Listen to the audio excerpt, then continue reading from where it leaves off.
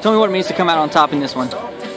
Well, I mean, it, it's good to get back in the win column. I mean, and I, I think it still shows that these guys are fighting and, trying and, and, haven't given up. And, and, you know, that's big. That's important. That's part of a, a, a, building process, and it shows you the type of character that these kids have and, what's inside of them. So, you know, I'm, I'm proud of them, um, and you know, we gotta we gotta enjoy it for a little bit and get ready to go against Michigan State. Can you tell me the importance of Jeff Wilson's start coming out and throwing really well, five and two thirds, I believe it was. Just talk about his start today. Yeah, you know what? He, if you look back at the starts he's made, he's done some quality. He's had some quality starts. He had another good one today, and you know, kept them off off balance and off the bases, and allowed us to get out to a lead, and, and did a great job.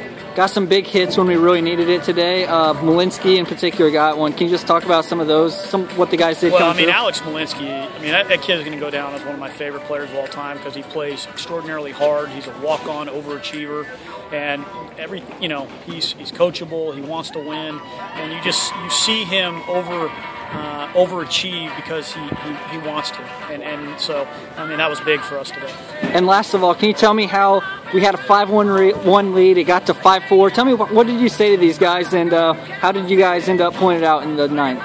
Well, I mean, we didn't we didn't do a good job there in, the, in that when we gave up that three spot. I mean, we did some silly things that you know is going to hurt you baseball wise, and so, um, but you know the, the the thing you got to be able to do if you're a good team and, and a good player is you got to be able to get to the next pitch and, and not you know not dwell on that and not hold on to it. And those guys did a good job of that.